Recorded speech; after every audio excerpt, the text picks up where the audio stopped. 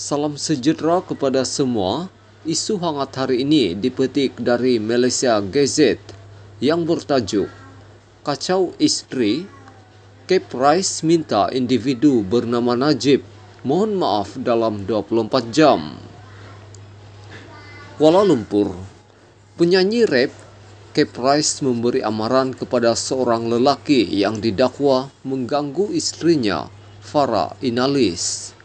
Menerusi hantaran di Instagram miliknya, Cape Rice menunjukkan mesej yang dihantar individu tersebut di aplikasi WhatsApp yang dikirimkan kepada istrinya pukul 11 malam.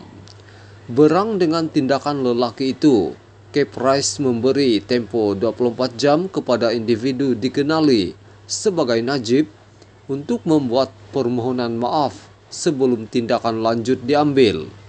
Pertama sekali Malaysia, saya tak kisah jika Anda mahu membenci saya, maksudnya bencikan saya. Tetapi apabila Anda mula kacau istri saya atau anak saya atau menghubungi istri saya pada malam hari atau WhatsApp istri saya, itu tandanya Anda telah melampaui batas antara kehidupan pribadi saya, kata Cape Rice.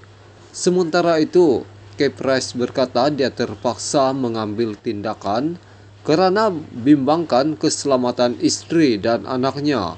Apatah lagi individu itu terus menghantar mesej meskipun sudah diberi amaran. Kenapa?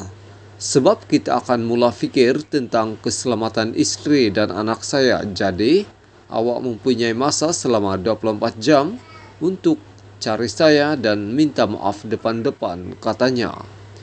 Kali pertama awak teks istri saya, kita fikir, oke, okay, Mamat ni mungkin gila, jadi kami berikan dia amaran dengan harapan tidak kacau istri saya lagi. Tetapi hari ini, yaitu semalam dia teks istri saya, guys jangan main gila, terutamanya tentang keluarga, katanya.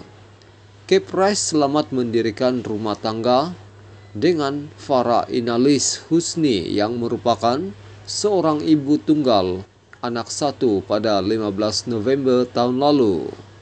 Sumber dipetik dari Malaysia Gazette. Sekian dan terima kasih.